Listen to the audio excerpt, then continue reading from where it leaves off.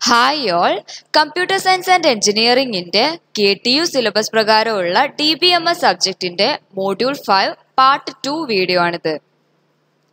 നമ്മൾ ഇന്ന് ഇവിടെ ഡിസ്കസ് ചെയ്യാൻ പോകുന്നത് schedules conflict equivalence recoverable and cascadeless schedules then deferred database modification and check pointing first of all what is schedule? A series of operation from one transaction to another transaction is known as a schedule. ഒരു ട്രാൻസാക്ഷനിൽ നിന്നും വേറൊരു ട്രാൻസാക്ഷനിലോട്ടുള്ള series of ഓപ്പറേഷനെയാണ് നമ്മൾ schedule എന്ന് പറയുന്നത്.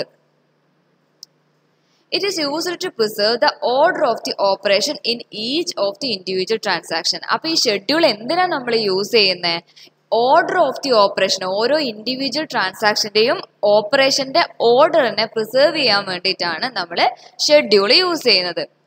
അപ്പോൾ ഈ schedule മൂന്ന് രീതിയിലാണുള്ളത്. Serial schedule non serial schedule then serializable schedule okay ഇതൊക്കെ പറയുമ്പോൾ എന്താണ് ഷെഡ്യൂൾ എന്ന് നമുക്ക് ക്ലിയർ ആയിട്ട് മനസ്സിലാവും. Okay first of all serial schedule A serial schedule is a type of schedule where one transaction is executed completely before starting another transaction. ഒരു transaction complete ആയതിനു ശേഷം മാത്രം വേറൊരു ട്രാൻസാക്ഷൻ സ്റ്റാർട്ട് ചെയ്യുന്നതിനെയാണ് നമ്മൾ സീരിയൽ ട്രാൻസാക്ഷൻ എന്ന് പറയുന്നത്. ഒന്ന് കഴിഞ്ഞതിന് ശേഷം മാത്രമേ രണ്ടാമത്തെ സ്റ്റാർട്ട് ചെയ്യുള്ളൂ. എന്നുവെച്ചാൽ in serial schedule when the first transaction transaction completes its cycle then the next transaction is executed ഒരു ട്രാൻസാക്ഷന്റെ കംപ്ലീറ്റ് സൈക്കിൾ കംപ്ലീറ്റ് ചെയ്തതിന് ശേഷം മാത്രമേ നെക്സ്റ്റ് ട്രാൻസാക്ഷൻ എക്സിക്യൂട്ട് ചെയ്യുള്ളൂ. ഓക്കെ എക്സാമ്പിൾ നോക്കുകയാണെങ്കിൽ ഇപ്പം ടി വൺ ഇത് ഇതാണ് ഒരു ഷെഡ്യൂൾ എന്ന് പറയുന്നത്. ഈ ഷെഡ്യൂളിൽ രണ്ട് ട്രാൻസാക്ഷൻ ഉണ്ട്. ടി വൺ എന്ന് പറഞ്ഞിട്ട് ടി ടു എന്ന് പറഞ്ഞ ട്രാൻസാക്ഷൻ ഉണ്ട്. അതിനകത്ത് സെറ്റ് ഓഫ് ഓപ്പറേഷൻസ് ഉണ്ട്. അപ്പം ടി വൺ എന്ന് പറഞ്ഞിട്ടുള്ള ട്രാൻസാക്ഷനിലുള്ള ഓപ്പറേഷൻസ് മൊത്തം കഴിഞ്ഞതിന് ശേഷമാണ് ടി ടുവിന്റെ ട്രാൻസാക്ഷൻ തുടങ്ങുന്നത്. ഓക്കെ അതുകൊണ്ടാണ് സീരിയൽ എന്ന് പറയുന്നത്. ഒരു ട്രാൻസാക്ഷൻ കഴിഞ്ഞതിന് ശേഷം മാത്രം രണ്ടാമത്തെ ട്രാൻസാക്ഷൻ സ്റ്റാർട്ട് ചെയ്യുന്നു. ഇപ്പൊ ഇത് ഇപ്പൊ ഷെഡ്യൂൾ ബിന്റെ കേസിലാണെങ്കിലും ടി ടു കംപ്ലീറ്റ് ആയതിനു ശേഷമാണ് ടി വൺ സ്റ്റാർട്ട് ചെയ്യുന്നത്. അതുകൊണ്ട് തന്നെ ഇതും സീരിയൽ ഷെഡ്യൂൾ ആണ്. Okay then non serial schedule അത് പേര് കേൾക്കുമ്പോൾ തന്നെ അറിയാം നമുക്ക് നേരത്തെ പറഞ്ഞതിന്റെ നേരെ ഓപ്പോസിറ്റ് ആയിരിക്കും ഇത്. നോൺ സീരിയൽ ഷെഡ്യൂൾ ആണ്. If interleaving of operation is allowed then there will be non serial schedule എന്ന് വെച്ചാൽ നമ്മൾ ടി വൺ മൊത്തം കഴിഞ്ഞിട്ടായിരുന്നു ടി ടു സ്റ്റാർട്ട് ചെയ്തത് സീരിയൽ ഷെഡ്യൂളിന്റെ കേസിൽ ഈ നോൺ നോൺ സീരിയൽ ഷെഡ്യൂളിന്റെ കേസിലാണെങ്കിൽ ആ ഒരു ഓർഡർ നമ്മൾ മെയിന്റെയിൻ ചെയ്യേണ്ട ആവശ്യമില്ല. It contains many possible orders ഏതൊരു പോസിബിൾ ഓർഡേഴ്സ് ഇതിൽ ഓക്കെ ആണ്. ഇപ്പൊ ഒരു എക്സാമ്പിൾ നോക്കുവാണെങ്കിൽ ഇപ്പൊ ടി വണ്ണിന്റെ കുറച്ച് ട്രാൻസാക്ഷൻ ഓപ്പറേഷൻ നടന്നു. എന്നിട്ട് ടി ടുവിന്റെ കുറച്ച് നടന്നു. ദെൻ പിന്നെയും ടി വണ്ണിന്റെ തുടങ്ങുവാണ്. ടി വണ്ണിന്റെ മൊത്തം കഴിഞ്ഞിട്ടല്ല ടി ടുവിന്റെ സ്റ്റാർട്ട് ചെയ്യുന്നത്. അപ്പൊ ഇതുകൊണ്ട് അതുകൊണ്ട് തന്നെ ഇത് നോൺ സീരിയൽ ഷെഡ്യൂൾ ആണ്. ഇതിന് വേറൊരു എക്സാമ്പിൾ ആണ് ജസ്റ്റ് ദിസ് ഈ ഒരു ഷെഡ്യൂളും ടി വണ് മൊത്തം കഴിഞ്ഞിട്ടല്ല ടി ടു സ്റ്റാർട്ട് ചെയ്യുന്നത്. Okay then serializable schedule മൂന്നാമത്തെയാണ് serializable schedule the serializability of schedules is used to find non serial schedule non serial ഷെഡ്യൂളിനെ find ചെയ്യാൻ വേണ്ടിയിട്ടാണ് ഇത് യൂസ് ചെയ്യുന്നത്. That allow the transaction to execute concurrently without interfacing with one another ഓരോ ട്രാൻസാക്ഷനും തമ്മിൽ കൺകറ പിന്നെ interface ചെയ്യാൻ interface ചെയ്യാണ്ട് തന്നെ കൺകറന്റ്ലി ആയിട്ട് എക്സിക്യൂട്ട് ചെയ്യാൻ വേണ്ടിയിട്ട് ഇത് യൂസ് ചെയ്യുന്നു. Then it identifies which schedules are correct ഏത് ഷെഡ്യൂളാണ് കറക്റ്റ് എന്ന് ഇത് ഐഡന്റിഫൈ ചെയ്യും. When execution of the transaction have interleaving of the operation ആ എക്സിക്യൂഷൻ നടന്നുകൊണ്ടിരിക്കുമ്പോൾ തന്നെ ഈ പിന്നെ സീരിയലൈസബിൾ ഷെഡ്യൂൾ ഏത് ഷെഡ്യൂളാണ് കറക്റ്റ് എന്നുള്ളത് ഐഡന്റിഫൈ ചെയ്യും. A non serial schedule will be serializable if it if its result is equal to the result of its transaction executed serially then serializability എന്ന് പറയുന്നത് എന്താണ്? It is a concept that help us to check which schedule are serializable ഏത് schedule ആണ് serializable എന്ന് പറയുന്നതിനെയാണ് നമ്മൾ serializability എന്ന് പറയുന്നത്. ഓക്കെ ജസ്റ്റ് അത് നോക്കി. നോക്കുക ദെൻ നമ്മൾ നെക്സ്റ്റ് നോക്കുന്നത് കോൺഫ്ലിക്റ്റ് ഇക്വാലൻസ് ആണ്. എപ്പോഴാണ് രണ്ട് ഷെഡ്യൂൾ കോൺഫ്ലിക്റ്റ് ഇക്വാലന്റ് ആണ് എന്ന് പറയുന്നത്? അതിന് രണ്ട് കണ്ടീഷനാണ് ഉള്ളത് ഒന്നാമത്തെ കണ്ടീഷൻ എന്ന് പറയുന്നത് they contain the same set of the transaction അതിന് പിന്നെ സെയിം സെറ്റ് ഓഫ് ട്രാൻസാക്ഷൻ ആയിരിക്കണം ഉണ്ടാവേണ്ടത്. എന്ന് വെച്ചാൽ ട്രാൻസാക്ഷൻ ഒക്കെ സെയിം ആയിരിക്കണം. രണ്ടാമത്തെന്ന് വെച്ചാൽ if each pair of conflict operation are ordered in the same way same വേയിൽ ഓർഡർ ചെയ്തിട്ടുള്ളതായിരിക്കണം അതിന്റെ ഓപ്പറേഷൻസ് ഒക്കെ. ഓപ്പറേഷൻ ഉദ്ദേശിക്കുന്നത് എന്താ? റീഡ് റൈറ്റ് ഓപ്പറേഷൻസ് ഒക്കെ സെയിം വേയിൽ ഓർഡർ ചെയ്തിട്ടായിരിക്കണം ഉണ്ടാവേണ്ടത്. അപ്പോൾ ഈ രണ്ട് ഷെഡ്യൂൾ ഈ രണ്ട് ഷെഡ്യൂളും കോൺഫ്ലിക്റ്റ് ഇക്വാലന്റ് ആണ്. എന്തുകൊണ്ടാന്ന് വെച്ചാൽ ഇപ്പം ഈ ഒരു ഷെഡ്യൂളിൽ നമ്മൾ സ്വാപ്പ് ചെയ്യുകയാണ് എസ് വൺ എന്ന് പറഞ്ഞിട്ടുള്ള ഈ ഷെഡ്യൂൾ ഈ നോൺ സീരിയൽ ഷെഡ്യൂളിനെ നമ്മൾ ജസ്റ്റ് സീരിയലൈസ് ചെയ്യുവാണെന്ന് വിചാരിക്കുക ഓക്കെ സ്വാപ്പ് ചെയ്യുക അല്ലെങ്കിൽ സീരിയലൈസ് ചെയ്യുകയാണെന്ന് വിചാരിക്കുക. അപ്പം ടി വൺ എന്ന് പറഞ്ഞിട്ടുള്ള ഓപ്പറേഷൻ ട്രാൻസാക്ഷനിൽ വരുന്ന ഓപ്പറേഷൻ എന്ന് read A write A read B write B അതൊക്കെ ഒപ്പരെടുത്ത് എഴുതി. Okay then T two start ചെയ്യുവാണ്. Read A write A read B write B അത് അതേപടി എടുത്ത് എഴുതി. അപ്പം നോൺ സീരിയൽ ഷെഡ്യൂളിനെ സീരിയലൈസ് ആക്കി ആക്കുമ്പോൾ ഈ എസ് വൺ എന്ന് പറഞ്ഞിട്ടുള്ള ഷെഡ്യൂൾ ഇങ്ങനെയായിട്ട് മാറും. അപ്പൊ ഈ ഷെഡ്യൂളും ഈ ഷെഡ്യൂൾ നമുക്ക് നോക്കിയാൽ ഈക്വൽ ആയിട്ട് തോന്നും അല്ലേ? Read A write A read B write B read A write A read B write B അതേപോലെ തന്നെ ഇതും. ഓക്കെ അപ്പൊ ഈ രണ്ട് ഷെഡ്യൂൾസും ഈക്വൽ ആണെന്ന് നമുക്ക് കിട്ടിയല്ലേ അപ്പൊ ഇത് അതുകൊണ്ട് തന്നെ ഇത് എന്താണ് S one and S two schedules conflict equivalent ആണ്. ഓക്കെ ദെൻ അടുത്തെന്ന് പറയുന്നത് schedule based on recoverability recoverability base ചെയ്തിട്ട് നമുക്ക് രണ്ട് മൂന്ന് ഷെഡ്യൂൾസ് ഉണ്ട്. റിക്കവറബിൾ കാസ്കേഡ്ലെസ് ദെൻ സ്ട്രിക്റ്റ് ഇവിടെ നമുക്ക് പഠിക്കാനുള്ളത് ഈ റിക്കവറബിളും കാസ്കേഡ്ലെസ്സും ആണ്. Okay then first one recoverable schedule എന്താണ് recoverable schedule recoverable schedule is one where for each pair of transaction T I and T J such that T J reads data item previously written by TI, the commit operation of TI appears before the commit operation of TJ. ഇത് example പറയുമ്പോൾ മനസ്സിലാവും എന്ന് വെച്ചാൽ ഇപ്പം T I T J ഇവിടെ T I T J എന്ന് പറയുന്നത് T എയ്റ്റും T നയനും ആണെന്ന് വിചാരിക്കുക ദെൻ ടി ഐന്റെ ഓപ്പറേഷൻ മൊത്തമായിട്ട് കഴിഞ്ഞതിന് ശേഷമാണ് ടി ജെ സ്റ്റാർട്ട് ചെയ്തതെന്ന് വിചാരിക്കുക. ടി ഐന്റെ ഓപ്പറേഷൻസ് അതായത് ടി എയ്റ്റിന്റെ പിന്നെ റീഡ് ചെയ്തു റൈറ്റ് ചെയ്തു ആ കണ്ടന്റ് നമ്മൾ ടി നയനിലേക്ക് എടുത്തു. ഓക്കെ അപ്പം ഇവിടെ കമ്മിറ്റ് ചെയ്തതിന് ശേഷം വേറെ ഓപ്പറേഷൻസ് ഒന്നും ഇല്ല. എന്ന് വെച്ചാൽ ഇവിടെ കമ്മിറ്റ് കഴിഞ്ഞതിന് ശേഷമാണ് ഇവിടെ ഇവിടത്തേക്ക് നമ്മൾ ഡാറ്റ എടുത്തത് എങ്കിൽ അവിടെ അത് റിക്കവറബിൾ ഷെഡ്യൂൾ ആണ്. ഈ ഒരു കേസിൽ റിക്കവറബിൾ അല്ല. എന്തുകൊണ്ടാ? ടി എയ്റ്റ് കഴിഞ്ഞിട്ട് ടി നയനിലോട്ട് ഡാറ്റ എടുത്തതിന് ശേഷമാണ് റീഡ് ബി എന്ന് പറഞ്ഞിട്ടുള്ള വേറൊരു ഓപ്പറേഷൻ ഇവിടെ നടന്നതിന് ശേഷം ഇവിടെ കമ്മീറ്റ് നടക്കുന്നത്. അതായത് ഇവിടെ കമ്മീറ്റ് നടന്നതിന് ശേഷം ഇവിടുത്തെ ലാസ്റ്റ് ഓപ്പറേഷൻ കഴിഞ്ഞതിന് ശേഷമാണ് ഇവിടുത്തെ ലാസ്റ്റ് ഓപ്പറേഷൻ നടക്കുന്നത്. ഓക്കെ അതുകൊണ്ട് തന്നെ ഇത് നോൺ റിക്കവർ റിക്കവറബിൾ ആണ്. അപ്പൊ ഈ ഈ റീഡ് എ വെച്ചിട്ട് ഇവിടെ കംപ്ലീറ്റ് ആവുമായിരുന്നെങ്കിൽ ഇവിടെ കമ്മിറ്റ് ഓപ്പറേഷൻ ടി എയ്റ്റിന്റെ കഴിയുമായിരുന്നു. ഇവിടെ കമ്മിറ്റ് ഓപ്പറേഷൻ ടി നയനിന്റെ കഴിയുമായിരുന്നു. ഓക്കെ അപ്പം ടി എയ്റ്റിൽ നിന്ന് കണ്ടന്റ് ടി ടി നയനിലോട്ട് വരികയും കമ്മിറ്റ് ഓപ്പറേഷൻ ടി എയ്റ്റിൽ ആദ്യം നടക്കുകയും ചെയ്യുമ്പോഴാണ് റിക്കവറബിൾ ഷെഡ്യൂൾ ആവുന്നത്. ഈ ഒരു കേസിൽ നോൺ റിക്കവറബിൾ ആണ്. Okay then cascadeless schedule cascadeless schedule എന്ന് പറയുന്നത് ഏകദേശം സെയിം ആണ് മുന്നത്തെ ഷെഡ്യൂളിന് ഇത്. ഇവിടെ ടി ടെന്ന് ടി ലെവൻ ടി ട്വൽവ് എന്ന് പറഞ്ഞിട്ട് ട്രാൻസാക്ഷൻസ് ഉണ്ട്. ഇവിടെ നമുക്കറിയാം ടി ടെൻ എന്ന് പറഞ്ഞ ട്രാൻസാക്ഷൻ മൊത്തം കഴിഞ്ഞതിന് ശേഷമാണ് ടി ലെവന്റെ ട്രാൻസാക്ഷൻ സ്റ്റാർട്ട് ചെയ്യുന്നത്. ദെൻ ഈ ടി ലെവന്റെ ട്രാൻസാക്ഷൻ മൊത്തം കഴിഞ്ഞതിന് ശേഷമാണ് ടി ട്വൽവ് ട്രാൻസാക്ഷൻ സ്റ്റാർട്ട് ചെയ്യുന്നത്. നമുക്ക് ഇങ്ങനെയായിരുന്നു റിക്കവറബിൾ ഷെഡ്യൂൾ വേണ്ടിയിരുന്നത്. ഓക്കെ അപ്പം ഇങ്ങനെയാണ് വരുന്നത്. അന്നേരം suppose at this at this point T ten fails ഏതെങ്കിലും ഒരു സാഹചര്യത്തിൽ ടി ടെൻ ഫെയിൽ ആവുകയാണെന്ന് വിചാരിക്കുക. അന്നേരം T ten must be roll back അന്നേരം ടി ടെന് റോൾ ബാക്ക് ചെയ്യേണ്ടി വരും. Since T eleven is depend on T ten ഈ ടി ലെവൻ ടി ടെന്നിനോട് ഡിപ്പെൻഡന്റ് ആണ്. ടി ട്വൽവ് ടി ലെവനോട് ഡിപ്പെൻഡന്റ് ആണ്. എന്ന് വെച്ചാൽ ടി ടെന്നിനോട് തന്നെ ഡിപ്പെൻഡന്റ് ആണ്. അപ്പോൾ മൊത്തത്തിൽ ഡിപ്പെൻഡന്റ് ആയതുകൊണ്ട് ടി ലെവനും ടി ട്വൽവും റോൾ ബാക്ക് ചെയ്യേണ്ടി വരും. അപ്പം ഈ ഒരു phenomenon in which a single transaction failure leads to a series of transaction rollback is called cascading rollback. എന്ന് വെച്ചാൽ ഒരു സിംഗിൾ ട്രാൻസാക്ഷന്റെ ഫെയിലർ ഒരു ടി ടെന്നിന്റെ ഫെയിലർ കൊണ്ട് ടി ലെവനും ടി ട്വൽവും ഒക്കെ റോൾ ബാക്ക് ചെയ്യേണ്ടി വരുന്ന അവസ്ഥേനെയാണ് നമ്മൾ കാസ്കേഡിംഗ് റോൾ ബാക്ക് എന്ന് പറയുന്നത്. ഓക്കെ അപ്പൊ എന്താണ് കാസ്കേഡ്ലെസ് ഷെഡ്യൂൾ എന്ന് പറയാം. Restrict the schedules to those where cascading roll back cannot occur cascading roll back ഇല്ലാണ്ട് ഷെഡ്യൂൾസിനെ റെസ്ട്രിക്റ്റ് ചെയ്യുന്നതിനെയാണ് നമ്മൾ കാസ്കേഡ്ലെസ് ഷെഡ്യൂൾ എന്ന് പറയുന്നത്.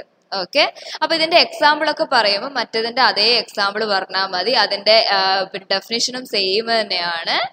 Every cascadeless schedule is also recoverable schedule okay അപ്പം ജസ്റ്റ് ഇങ്ങനെ ഒരു എക്സാമ്പിൾ എഴുതുക ഇവിടെ ഇത് കാസ് കാസ്കേഡ്ലെസ് ഷെഡ്യൂളും ആണ് റിക്കവറബിൾ ഷെഡ്യൂളും ആണ്. എന്തുകൊണ്ടാ? റീഡ് എയും റൈറ്റ് എയും കഴിഞ്ഞു. ദെൻ റീഡ് ബി എന്ന് പറയുന്നത് ഇവിടെ നിന്ന് കണ്ടന്റ് എടുക്കാത്ത റീഡ് ബി അല്ലേ? ബി അല്ലേ റീഡ് ചെയ്യുന്നത് അപ്പൊ ഇവിടെ നിന്ന് കണ്ടന്റ് എടുക്കുന്നില്ലല്ലോ. അപ്പൊ അതിനുശേഷം ഇവിടെ കമ്മിറ്റ് ചെയ്തു. കമ്മിറ്റ് ചെയ്തു. അപ്പൊ ടി ടെൻ ആണ് ആദ്യം കമ്മിറ്റ് ചെയ്യുന്നത്. അതിനുശേഷമേ ടി ലെവൻ കമ്മിറ്റ് ചെയ്യുന്നുള്ളൂ. അപ്പൊ ആ ലെവൻ ടി ടെന്നിൽ നിന്ന് ഡാറ്റ എടുക്കുന്നുമുണ്ട് അപ്പൊ ഈ ഒരു കേസിൽ ഇത് റിക്കവറബിൾ ഷെഡ്യൂളും ആണ് കാസ്കേഡ്ലെസ് ഷെഡ്യൂളും ആണ് ഓക്കെ അതേ സമയത്ത് ഇവിടെ റീഡ് എ ഇവിടെ ആയിരുന്നു എങ്കിൽ അവിടെ പിന്നെ cascadeless ആയിരിക്കൂലായിരുന്നു. Okay then deferred database modification എന്താണ് deferred database modification It occurs if the transaction does not modify the database until it has committed. ഒരു ട്രാൻസാക്ഷൻ നടന്നു കഴിഞ്ഞതിന് ശേഷം ഒരു ഡാറ്റാബേസിൽ ആ ഒരു ഡാറ്റാബേസിൽ മോഡിഫിക്കേഷൻ വരുത്തുന്നില്ല. ആ കമ്മിറ്റ് ചെയ്തതിന് ശേഷം ട്രാൻസാക്ഷൻ കമ്മിറ്റ് ചെയ്തതിന് ശേഷം മാത്രമേ ഡാറ്റാബേസിൽ മോഡിഫിക്കേഷൻ ചെയ്യുന്നുള്ളൂ എങ്കിൽ അതിനെയാണ് ഡിഫേർഡ് ഡാറ്റാബേസ് മോഡിഫിക്കേഷൻ എന്ന് പറയുന്നത്. ഓക്കെ അപ്പോൾ അതുവരെ ഒരു ലോക്കൽ ഡാറ്റയിലായിരിക്കും datas store ചെയ്തിട്ടുണ്ടാവുക. Okay that is the changes are not applied immediately to the database ഡാറ്റാബേസിലോട്ട് immediate ആയിട്ട് ചേഞ്ചസ് ഒന്നും അപ്ലൈ ചെയ്യുന്നില്ല. ജസ്റ്റ് ട്രാൻസാക്ഷൻ കമ്മിറ്റ് ചെയ്തതിന് ശേഷം മാത്രമേ ഡാറ്റാബേസിലോട്ട് ഡാറ്റാസിന് കൊടുക്കുന്നുള്ളൂ. ഓക്കെ അതിനെയാണ് ഡിഫേർഡ് ഡാറ്റാബേസ് മോഡിഫിക്കേഷൻ എന്ന് പറയുന്നത്. In this method, all the logs are created and stored in the stable storage. Stable സ്റ്റോറേജിലാണ് ഈ ലോഗ്സ് ഒക്കെ ക്രിയേറ്റ് ചെയ്യുന്നത്. And the database updated when the transaction commit already പറഞ്ഞ തന്നെ. ട്രാൻസാക്ഷൻ കമ്മിറ്റ് ചെയ്തതിന് ശേഷമാണ് database update ആവുന്നത്. അപ്ഡേറ്റ് ആവുന്നത്. Modification എന്ന് ഉദ്ദേശിക്കുന്നത് അപ്ഡേറ്റ് ഡാറ്റാബേസ് എപ്പോഴാണ് അപ്ഡേറ്റ് ആവുന്നത്? ട്രാൻസാക്ഷൻ കമ്മിറ്റ് ചെയ്തതിന് ശേഷമായിരിക്കും. If database modification occur while the transaction is still active, the transaction is said to be to use the immediate modification technique. അപ്പോൾ നമ്മൾ ഡാറ്റാബേസിന് രണ്ട് രീതിയിലാണ് മോഡിഫൈ ചെയ്യുക ഒന്ന് ഡിഫേർഡ് ഡാറ്റാബേസ് മോഡിഫിക്കേഷനും ഒന്ന് ഇമ്മീഡിയറ്റ് മോഡിഫിക്കേഷനും അപ്പോൾ ഇമ്മീഡിയറ്റ് മോഡിഫിക്കേഷൻ പഠിക്കാനില്ല. ജസ്റ്റ് പറഞ്ഞതെന്ന് വെച്ചാൽ ഡിഫേർഡ് മോഡിഫിക്കേഷൻ എന്ന് പറയുന്നത് പിന്നെ ട്രാൻസാക്ഷൻ കമ്മിറ്റ് ചെയ്തതിന് ശേഷം ഡാറ്റാബേസിലോട്ട് ഡാറ്റേനെ കൊടുക്കുന്നതാണല്ലോ. അതേ സമയത്ത് ഇമ്മീഡിയറ്റ് മോഡിഫിക്കേഷൻ എന്ന് പറയുന്നത് അന്നേരം അന്നേരം തന്നെ ഡാറ്റാബേസിൽ മോഡിഫൈ ചെയ്ത് കൊടുക്കുന്നതിനാണ്. Just deferred database modification correct clear ആയിട്ട് മനസ്സിലാവാൻ വേണ്ടിയിട്ട് പറഞ്ഞതേ ഉള്ളൂ. Okay then check pointing last topic ആണ് check point the methodology utilising for removing all previous transaction logs and storing them in a permanent storage is called a check point മുന്നേ നമ്മൾ ലോഗ്സിന്റെ കാര്യങ്ങളൊക്കെ പറഞ്ഞിട്ടുണ്ടായിരുന്നു. ലോഗ്സ് ഒക്കെ ഓരോ ട്രാൻസാക്ഷന് മുന്നേ പിന്നെ സെറ്റ് ചെയ്ത് വെക്കുന്നതൊക്കെ പറഞ്ഞായിരുന്നു. അപ്പൊ ആ ലോഗ്സ് ഒക്കെ റിമൂവ് ചെയ്തതിന് ശേഷം ഒരു പെർമനന്റ് സ്റ്റോറേജിലോട്ട് സ്റ്റോർ ചെയ്യുന്ന പരിപാടിയാണ് ചെക്ക് പോയിന്റ് എന്ന് പറയുന്നത്. അപ്പോൾ ട്രാൻസാക്ഷൻ ലോഗ്സ് മൊത്തം പെർമനന്റ് സ്റ്റോറേജിലോട്ട് സ്റ്റോർ ചെയ്യുന്നതിനെയാണ് നമ്മൾ ചെക്ക് പോയിന്റ് എന്ന് പറയുന്നത്. Okay A checkpoint is used to for recovery if there is an unexpected shutdown in database. ഒരു ഡാറ്റാബേസിൽ അൺഎക്സ്പെക്റ്റഡ് ആയിട്ട് എന്തെങ്കിലും ഒരു കുഴപ്പം വരുവാണ് ഓക്കെ അൺഎക്സ്പെക്റ്റഡ് ഷട്ട് ഡൗൺ ഉണ്ടാവുന്ന സമയത്ത് ഡാറ്റേനെ റിക്കവർ ചെയ്യണം നമുക്ക് അന്നേരമാണ് നമ്മൾ ചെക്ക് പോയിന്റ് യൂസ് ചെയ്യുന്നത് okay Checkpoints work on some intervals and write all dirty pages from logs relate to data file from that is from a buffer to physical disk. It is known as the hardening of dirty pages. Just ഒന്നുമില്ല check points work ചെയ്യുന്നത് ചില ഇന്റർവെൽസിലായിരിക്കും അത് dirty pages ഒക്കെ അല്ലെങ്കിൽ modified pages ഒക്കെ right ചെയ്യാൻ വേണ്ടിയിട്ടാണ് use ചെയ്യുന്നത്. അത് പിന്നെ ബഫറിൽ നിന്നും ഫിസിക്കൽ ഡിസ്കിലോട്ടാണ് സംഭവം റൈറ്റ് ചെയ്യുന്നത്. അപ്പം അങ്ങനെ റൈറ്റ് ചെയ്യുന്നതിനെ നമ്മൾ ഹാർഡനിങ് ഓഫ് ഡേർട്ടി പേജസ് എന്ന് പറയും. ഡേർട്ടി പേജസ് കൊണ്ട് ഉദ്ദേശിക്കുന്നത് modified pages okay then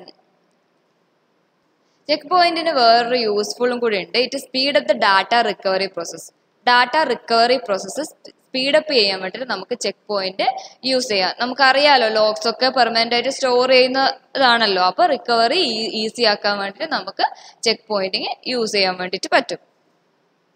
പിന്നെ ഈ ചെക്ക് പോയിന്റിനെ നമ്മൾ സേവ് പോയിന്റ് എന്നൊക്കെ പറയും. പിന്നെ ഇനിയിപ്പോൾ ജസ്റ്റ് ഞാൻ മൊത്തത്തിലൊരു എക്സാമ്പിൾ പോലെ സേവ് പോയിന്റ് ഒക്കെ വരുന്ന രീതിയിലൊരു എക്സാമ്പിൾ പോലെ പറഞ്ഞുതരാം.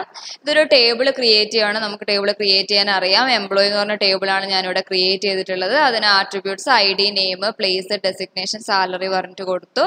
എന്നിട്ട് ഡാറ്റാസ് ഇൻസേർട്ട് ചെയ്യുകയാണ് നാല് ഡാറ്റാസ് ഞാനിവിടെ ഇൻസേർട്ട് ചെയ്തിട്ടുണ്ട്. എന്നിട്ട് ജസ്റ്റ് അതിനെ പ്രിന്റ് ചെയ്തു. ഐ ഡി നെയിം പ്ലേസ് വെച്ചിട്ട് ജസ്റ്റ് പ്രിന്റ് ചെയ്തു. നാല് റോസ് ഉള്ള ഒരു ടേബിൾ നമ്മൾ ക്രിയേറ്റ് ചെയ്തു.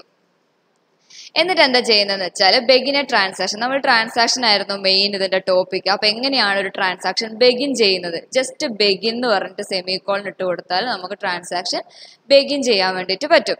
ബൈ ഡിലീറ്റിംഗ് ദ എന്താണ് നമുക്ക് ചെയ്യേണ്ടത്? Begin transaction by deleting the details of employee with I D one zero two and later roll back the changes അപ്പോൾ വൺ സീറോ ടു എന്ന് പറഞ്ഞിട്ടുള്ള ഐ ഡി ഉള്ള എംപ്ലോയിനെ നമുക്ക് ഡിലീറ്റ് ചെയ്യണം. ഒരു ട്രാൻസാക്ഷൻ ബെഗിൻ ചെയ്തതിന് ശേഷം. എന്നിട്ട് നമുക്ക് ആ ചേഞ്ചസ് പിന്നെ റോൾ ബാക്ക് ചെയ്യണം എന്ന് വെച്ചാൽ മുന്നത്തെ സ്ഥിതിയിലോട്ട് മാറ്റണം. ഓക്കെ നമുക്കറിയാം ഓൾറെഡി ടേബിളിൽ വൺ സീറോ ടു എന്ന് പറഞ്ഞിട്ടുള്ള റോ ഉണ്ട് അല്ലേ? അപ്പം ആ വൺ സീറോ ടു എന്ന് പറഞ്ഞിട്ടുള്ള റോ നമുക്ക് ഡിലീറ്റ് ചെയ്യണം. ഓക്കെ അപ്പൊ വൺ സീറോ ടു എന്ന് പറഞ്ഞിട്ടുള്ള ഐ ഡി ഡിലീറ്റ് ചെയ്യണം. എന്നിട്ട് അതിനെ റോൾ ബാക്ക് ചെയ്യണം. എങ്ങനെ ചെയ്യാം? ട്രാൻസാക്ഷൻ ഫസ്റ്റ് ബെഗിൻ ചെയ്യണം. എന്നാലും മാത്രമേ റോൾ ബാക്ക് ചെയ്യാൻ വേണ്ടി പറ്റൂ. ബെഗിൻ ചെയ്തു. എന്നിട്ട് നമ്മൾ സാധാരണ ഡിലീറ്റ് ചെയ്യുന്നത് പോലെ എംപ്ലോയിയിലെ data delete from employee where I D is equal to one zero two എന്ന് പറഞ്ഞിട്ട് ഡിലീറ്റ് ചെയ്തു. ദെൻ അതിന്റെ ഡാറ്റാസ് പ്രിന്റ് ചെയ്യുവാണ്. പ്രിന്റ് ചെയ്യുമ്പോൾ വൺ സീറോ ടു നമുക്ക് കാണാൻ പറ്റുന്നില്ല. ദെൻ അതിനെ റോൾ ബാക്ക് ചെയ്യുക. റോൾ ബാക്ക് സെമിക്കോളം കൊടുത്താൽ മതി. എന്നിട്ട് just select star from employee കൊടുക്കുമ്പോൾ നമുക്ക് നേരത്തെ ഡിലീറ്റ് ചെയ്ത സാധനം അതേപടി തിരിച്ചു കിട്ടും. അപ്പൊ അതാണ് റോൾ ബാക്ക് എന്ന് മനസ്സിലായില്ലേ? ഓക്കെ നെക്സ്റ്റ് എന്താന്ന് വെച്ചാൽ begin the transaction by updating salary incremented by ten percentage നമുക്ക് സാലറിനെ അപ്ഡേറ്റ് ചെയ്യണം. ഒരു ട്രാൻസാക്ഷൻ ബെഗിൻ ചെയ്തതിന് ശേഷം എന്നിട്ട് അതിനെ കമ്മിറ്റ് ചെയ്യണം. റോൾ ബാക്ക് എന്ന് പറയുമ്പോൾ നമുക്ക് ഡിലീറ്റ് ചെയ്തിട്ട് അതേ സ്ഥാനത്തോട്ട് തിരിച്ചു വരാം. കമ്മിറ്റ് എന്തിനാ നമ്മൾ യൂസ് ചെയ്തത് കമ്മിറ്റ് എന്ന് വെച്ചാൽ ഏറ്റവും അവസാനം ഫൈനലൈസ് ചെയ്യാൻ വേണ്ടിയിട്ട്. അങ്ങനെ ഓർമ്മിച്ചാൽ മതി. ഇവിടെ ട്രാൻസാക്ഷൻ ബിഗിൻ ചെയ്തു. ദെൻ നമ്മൾ അപ്ഡേറ്റ് ചെയ്യുകയാണ് സാലറി ടെൻ പെർസെന്റേജ് വെച്ചിട്ട് സാലറി അപ്ഡേറ്റ് ചെയ്യുകയാണ് എന്നിട്ട് സെലക്ട് സ്റ്റാർ ഫ്രം എംപ്ലോയി പറഞ്ഞാൽ നമുക്ക് നേരത്തെയുള്ള സാലറിനേക്കാളും ടെൻ പെർസെന്റേജ് ഇൻക്രിമെന്റ് ആയിട്ടുള്ളത് നമുക്ക് കാണാൻ വേണ്ടി പറ്റും. എന്നിട്ട് കമ്മിറ്റ് കൊടുത്താൽ നമ്മളത് പെർമനന്റ് ആയിട്ട് ആ ട്രാൻസാക്ഷൻ കംപ്ലീറ്റ് ചെയ്തു. ഓക്കെ ഡാറ്റാബേസിലോട്ട് സ്റ്റോർ ചെയ്തു അത്. ഓക്കെ ദെൻ അടുത്തതെന്ന് പറയുന്നത് എങ്ങനെയാണ് നമ്മളൊരു സേവ് പോയിന്റ് യൂസ് ചെയ്യുന്നത്? നമ്മൾ ലാസ്റ്റ് യൂസ് ചെയ്ത ചെക്ക് പോയിന്റ് ഇല്ലേ? നമ്മൾ ഡോക്സ് ഒക്കെ പിന്നെ പെർമനന്റ് ആയിട്ട് സ്റ്റോർ ചെയ്യും എന്ന് പറഞ്ഞത്. അപ്പൊ അതെങ്ങനെയാണ് നമ്മൾ ട്രാൻസാക്ഷനിൽ യൂസ് ചെയ്യുന്നത് നമുക്ക് നോക്കാം. ഓക്കെ ഇവിടെ നമ്മൾ ട്രാൻസാക്ഷൻ സാധാ ബെഗിൻ ചെയ്യുന്ന പോലെ ഇവിടെ ബെഗിൻ ചെയ്യുവാണ്. Then save point Q one നമ്മൾ പറഞ്ഞു ചെക്ക് പോയിന്റ് സേവ് പോയിന്റ് എന്നും പറയാം. അപ്പൊ സേവ് പോയിന്റ് ക്യൂ വൺ എന്ന് പറഞ്ഞിട്ട് കൊടുത്തു. എന്നിട്ട് നമ്മൾ ജസ്റ്റ് ഒരു എംപ്ലോയിന്റെ salary I D one zero വണ്ണുള്ള എംപ്ലോയിന്റെ സാലറി രണ്ടാ ഇരുപത്തയ്യായിരം ആയിട്ട് മാറ്റുവാണ്. അപ്പൊ വൺ സീറോ വൺ അപ്പൊ താഴെ പോയിട്ടുണ്ട്. എന്നിട്ട് ആ ക്ലർക്ക് ഇരുപത്തയ്യായിരം ആണ് സാലറി എന്ന് പറഞ്ഞിട്ട് കൊടുത്തു. ദെൻ അടുത്ത സേവ് പോയിന്റ് ക്യൂ ടു എന്ന് പറഞ്ഞിട്ട് കൊടുത്തു. എന്നിട്ട് just I D one zero two ഉള്ള ഡാറ്റ നമ്മൾ ഡിലീറ്റ് ആക്കുകയാണ്. ഓക്കെ ഡിലീറ്റ് ആക്കി. Then save point Q three then insert into എന്ന് പറഞ്ഞിട്ട് ഡാറ്റ ഇൻസേർട്ട് ചെയ്യുവാണ്.